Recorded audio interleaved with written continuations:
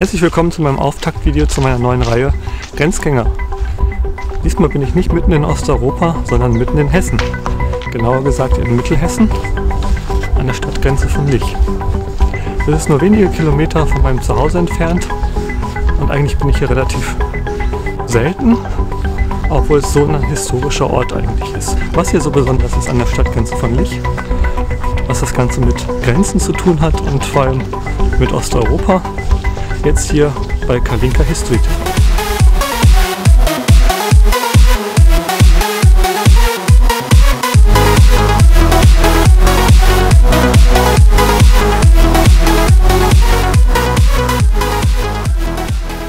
In den letzten Wochen bin ich viel durch Osteuropa rumgereist. Bin vom Baltikum bis auf den Balkan gefahren.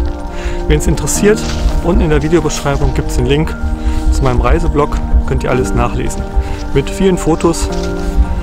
Falls euch interessiert, schaut gerne mal rein. Auf der Reise sind mir viele kuriose Grenzen aufgefallen. Vorher schon auf Google Maps, als ich meine Reise geplant habe. Und vor Ort habe ich die dann aufgesucht. Das fand ich so spannend, dass ich dachte, ach, warum machst du nicht mal eine komplette Videoreihe zum Thema Grenzen in Osteuropa?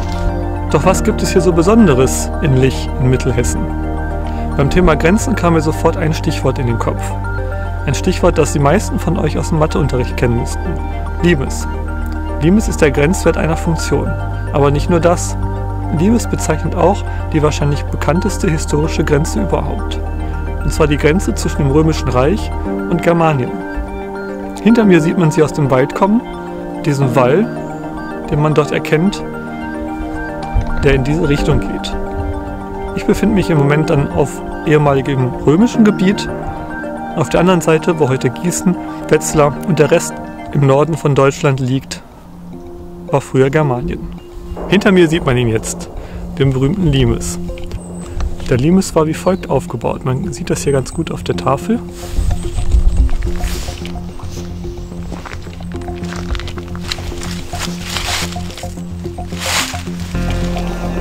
Es gab zunächst die erste Limesphase. Da gab es nur einen Weg mit Holztürmen. In der zweiten Limesphase wurde zusätzlich eine Palisade gebaut. In der dritten Limesphase wurde der Holzturm durch einen Steinturm ersetzt. Und in der vierten Limesphase gab es zusätzlich einen Wall und einen Graben. Die Palisade ist natürlich mit der Zeit verschwunden, die Holztürme sowieso, die Wege wurden überwuchert was übrig geblieben ist, ist der Wall, den man hier sieht, und Überreste von Steintürmen. Hier sieht man zum Beispiel einen Steintürme.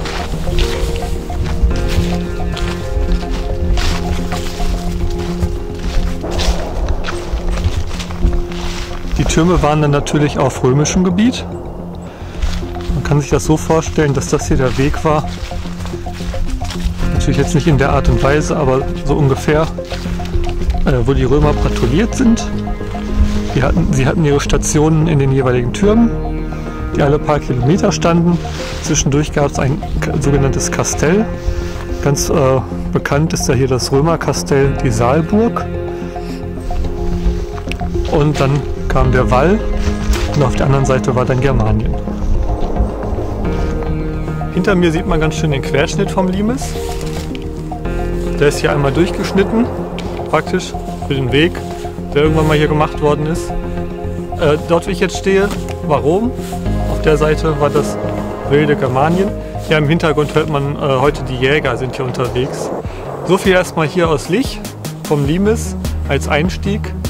Falls euch das Thema mehr interessiert, ich habe unten in die Videobeschreibung ein paar Links gepackt, wo es Informationen gibt zum Limes an sich, zur Geschichte und äh, auch zu den Wanderwegen hier, zu den Radwegen äh, falls es euch interessiert, äh, kommt mal gerne vorbei, wenn ihr in Hessen wohnt oder falls ihr mal in Hessen seid.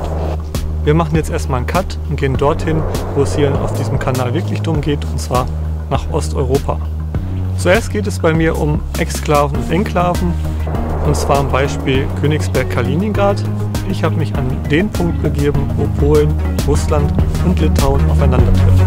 Dafür klickt einfach auf das nächste Video dieser Reihe bis dahin, lasst gerne ein Abo da oder einen Daumen hoch, kommentiert fleißig